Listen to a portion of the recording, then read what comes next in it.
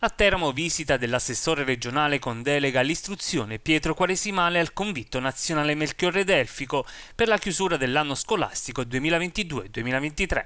Da Teramo l'assessore ha voluto salutare simbolicamente tutti gli studenti abruzzesi, il corpo docente, il personale scolastico, ma anche i genitori che svolgono un ruolo estremamente importante nel mondo della scuola. Ci tenevo a portare saluti come ho fatto inizio anno per quest'ultimo giorno venendo qui al conflitto eh, appunto per cercare di capire come è stato l'anno. Io ritengo un anno, come diceva lei, proficuo perché finalmente un anno un po' più sereno rispetto a quelli che ci hanno preceduto, in cui purtroppo a causa del Covid abbiamo dovuto ricorrere alla DAD con conseguenze sappiamo pregiudizievoli per i ragazzi non solo per quanto attiene il percorso formativo ma anche per quanto riguarda la socializzazione. Testimoniando il fatto che l'istruzione è sempre più fondamentale per accedere al lavoro si cercano sempre profili più eh, formati e sicuramente eh, la scuola è di fondamentale importanza. E poi voglio fare un in bocca al lupo ai maturanti, eh, appunto quel, tutti i ragazzi che faranno gli esami di Stato il 21 giugno. Quaresimale ha anche sottolineato il lavoro che sta portando avanti la Regione Abruzzo sul fronte dell'edilizia scolastica.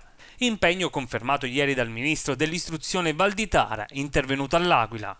Il Ministro ha confermato l'arrivo di ulteriori fondi per quanto attiene il PNR per l'edilizia scolastica. Questa notizia è importantissima perché abbiamo ancora tante scuole di, di, del nostro territorio dell'Abruzzo che devono essere adeguate sismicamente quindi sicuramente ci ha portato una buona notizia e poi come sapete avete letto sui giornali rispetto a delle osservazioni anche un po' critiche eh, relativamente al nuovo dimensionamento scolastico ha chiarito che eh, questo nuovo strumento non impatta più di tanto sul nostro territorio lasciandoci autonomia così come io avevo richiesto quindi sicuramente notizie importanti per l'Abruzzo a livello scolastico. Ultimo giorno di scuola ma già si pensa alla riapertura del 13 di settembre? Sì abbiamo fissato come sapete il nuovo calendario che prevede la riapertura il 13 settembre, la speranza che eh, sia un anno sereno come quello appunto che oggi finisce.